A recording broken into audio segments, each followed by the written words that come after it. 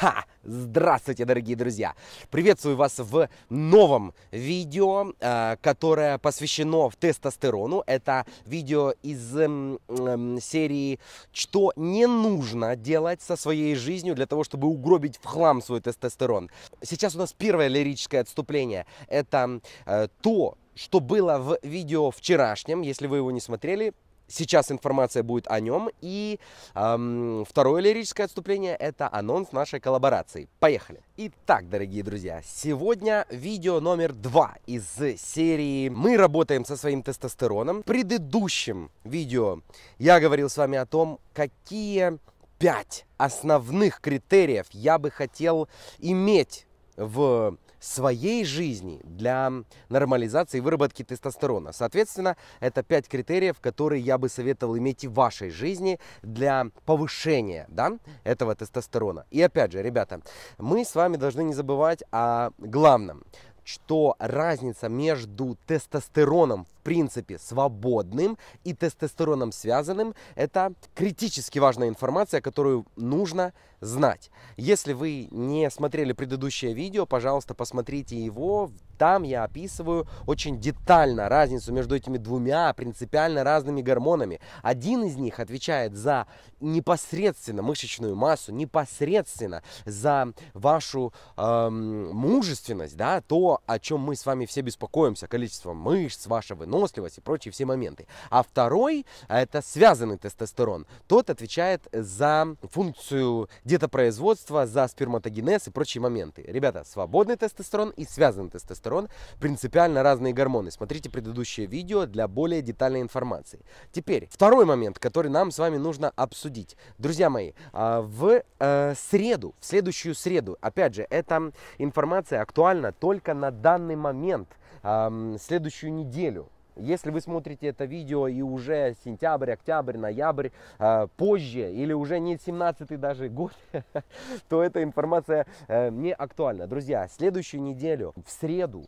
20 сентября в 21.00 у нас состоится замечательный live на канале ребят э, Валерия и Елены. Э, Ketogenic Diet на э, этот канал ссылку э, точнее не канал, а профиль Инстаграма. Ребят, я оставлю ссылки на их все профили, на э, их э, группы ВКонтакте, на Фейсбуке. Ребята, подписывайтесь, мы будем общаться. Ребята будут мне устраивать допрос с пристрастиями, как сказал Валерий. Будет очень интересно, будет очень круто. А, в следующую среду, 20 сентября в 21.00 по Москве. Присоединяйтесь к очень крутому лайву на канале Ketogenic Diet. Точнее, блин, на профиле Ketogenic Diet э, в Инстаграме.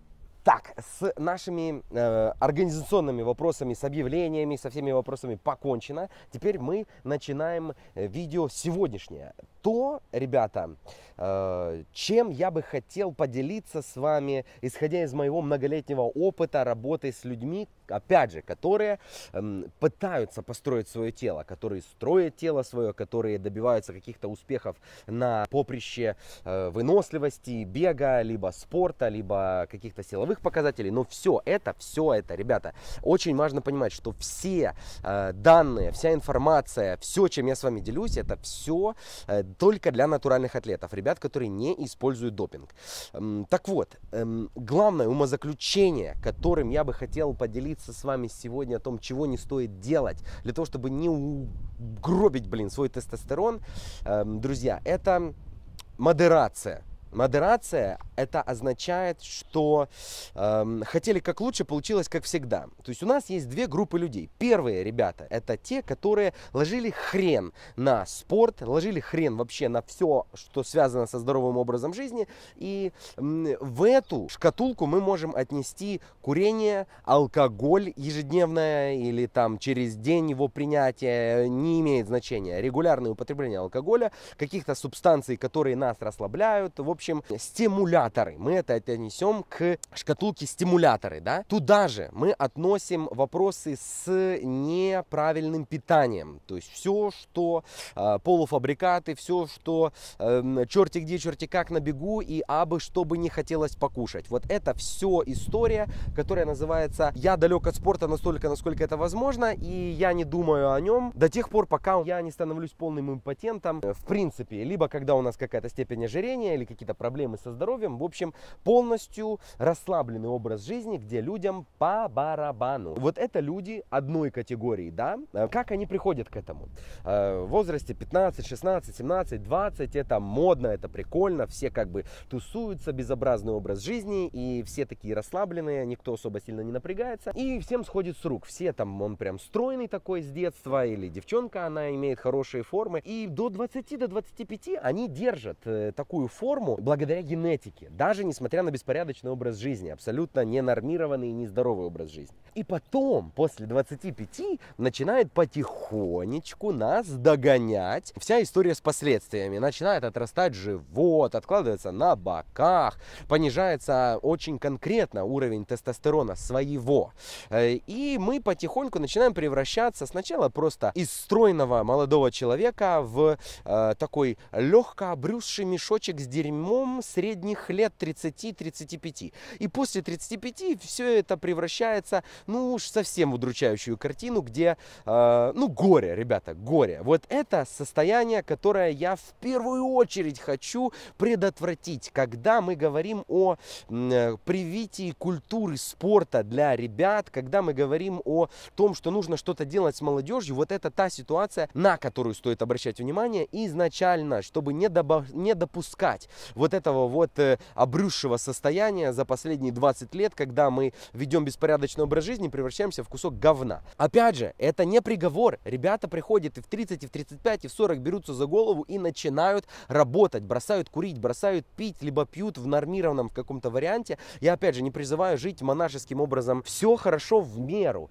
И спорт тоже хорош в меру. Сейчас мы поговорим как раз об этом. Важно понимать, что можно, в принципе, пустить любой процесс вспять. И даже если вы последние 20 лет живете как, э, извините меня, э, Брюс Уэйн, да, и у вас все классно, все хорошо, и вы не задумываетесь о здоровье, пожалуйста, я вас не знаю, как просить, пожалуйста, начинайте, не ждите последствий, не ждите ожирения, не ждите э, прединфарктных инфарктов, не ждите заложенных артерий, не ждите импотенции, не ждите пониженной, блин, вялой эрекции. Пожалуйста, начинайте работать уже сегодня. Если вам 25, самое время. Если вам 20, вообще прекрасно. Если вам 35-45, никогда не поздно.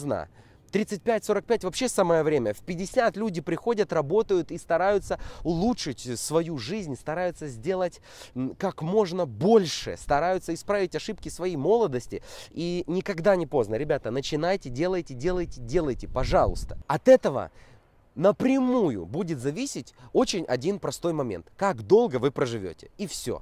И сейчас мы подходим ко второму моменту. Очень интересная вещь. Это зеркальное отображение первой ситуации, когда в первой истории мы с забитым хреном живем и вообще не знаем о том, что такое спорт, пока не случилась беда. И в этой ситуации вы повернуты на спорте, вы живете только спортом. У вас э, тренировки пять раз в день, у вас постоянно бег, у вас постоянно силовые занятия, у вас постоянно какое-то напряжение на ваш организм, э, где он не успевает восстанавливаться. Очень важно. Эм, ситуация, в которой питание кристально чистое. Я не говорю сейчас о здоровом, нормальном, адекватном питании. Я говорю сейчас о состоянии, когда вы кушаете, блин, долбанный вареный рис постоянно и отварные куриные грудки. Ребята, это не питание э, для нормального человека. Это питание, подчеркиваю, для ребят, которые используют допинг, у которых есть в этом физиологическая необходимость. У нас, натуральных атлетов, ребят, которые хотят практиковать спорт в годах, годах закрепленный, да, когда ты хочешь в 40, в 50 и в 60, нам нельзя делать обезжиренную диету. Нельзя быть полностью зависимым от 6-7 разового питания. Это не здоровый образ жизни подчеркиваю, когда слишком много спорта, когда слишком вы повернуты на кристальной чистоте, это тоже не совсем правильный вариант. Все хорошо в меру, ребята. Слишком частые тренировки приводят к угнетению своего тестостерона. Это один из главных камней преткновения, с которыми сталкиваются ребята, которые перегибают палку. Нельзя тренироваться 7 раз в неделю, нельзя делать силовую 5 раз в неделю. Опять же, подчеркиваю, если вы натуральный атлет. Нельзя бегать каждый день по 25-30 километров, естественно, потому что вы не будете успевать восстанавливаться. Бегуны делают короткую, среднюю, длинные дистанции в течение недели, чтобы успевать.